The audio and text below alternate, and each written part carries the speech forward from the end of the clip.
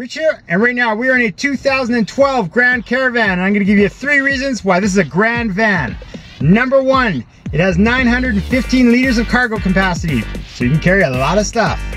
Number two, you've heard of dual climate zones? Well, this has three climate zones. That's right, everybody can be comfortable.